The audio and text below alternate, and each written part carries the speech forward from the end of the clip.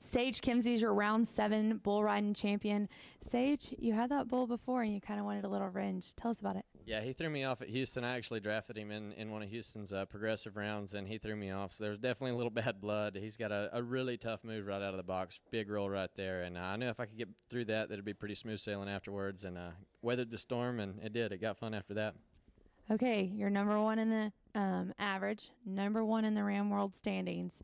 We haven't seen you down here for a round win, but you've definitely been just kind of chipping away at it.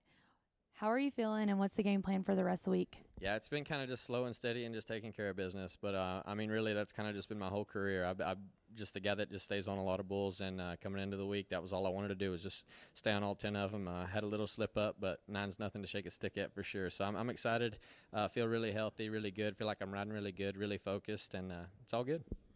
Now your little brother's out here with you this year. How does that change things, and how special is that? Uh, it just makes everything a lot easier, honestly. I mean uh, th- there's no level uh, of being comfortable in the Thomas and Mack per se, but uh, you know, whenever he jumps out and pulls my rope, uh, like he's done hundreds of times throughout the year, it's uh, it's pretty good, and it is. It's just like kind of like you're getting on at home, and uh, it does. It kind of knocks the edge off, takes the nerves out of it. It's just all fun.